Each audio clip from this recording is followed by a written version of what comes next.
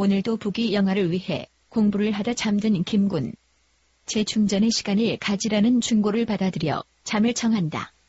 아들이 잠든 사이 외출을 나가시던 어머니. 아들을 위해 메시지를 남겨두신다. 고기 볶음.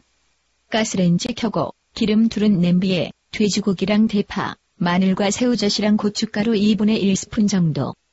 고기가 더 필요할 거야. 거기에 들어간 고기만큼만 볶아 먹어라.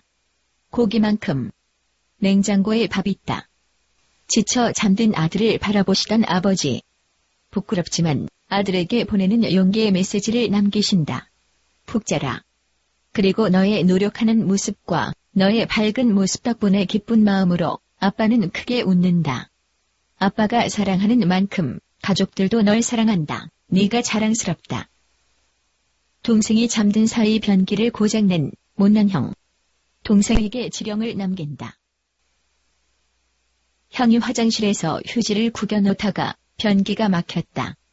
변기 좀 뚫어라. 잘하고 있다. 나중에 잘 되기 위해 고생한다 생각해 널 생각하는 맘 알아주길 바라.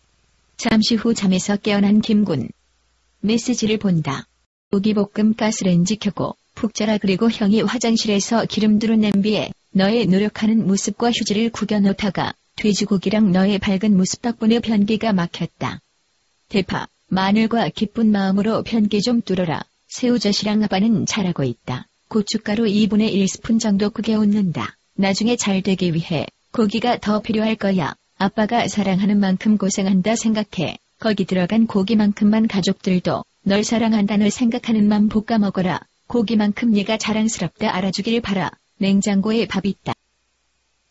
혼란스럽다.